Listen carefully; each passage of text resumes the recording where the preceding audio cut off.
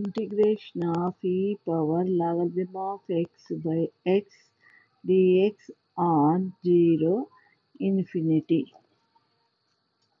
To evaluate this one, you take, let us assume logarithm of x is equal to t. Differentiate both sides d by dx of logarithm of x is equal to dt by dx. Derivative of logarithm of x is 1 by x is equal to dt by dx. From this one dx by x is equal to dt. This is present in the uh, given function that is dx by x you see in the problem dx by x.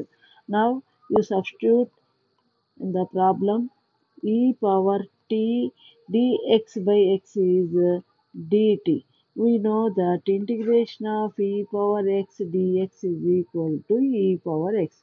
By using this formula, we can write e power t plus c, e power x plus c, e power t. Again, you substitute in the place of t, e power t means logarithm of x. Here t is logarithm of x plus c.